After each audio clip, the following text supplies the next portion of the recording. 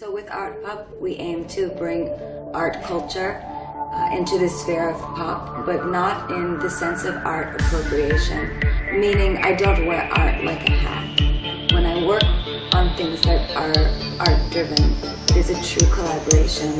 It is me giving myself fully to something. For example, today, I give myself to the Venus.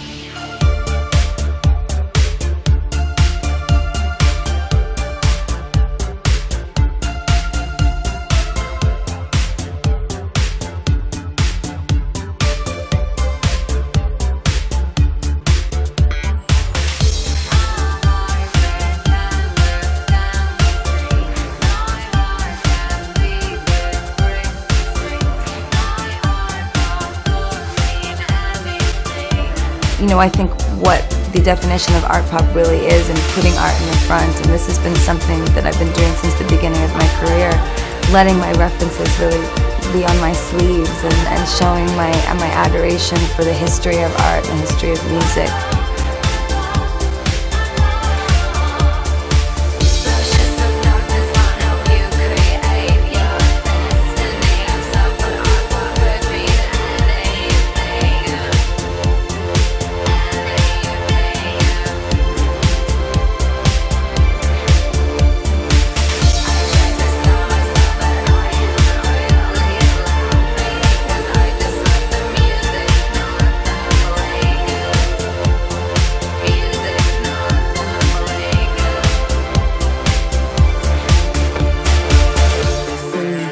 my mind.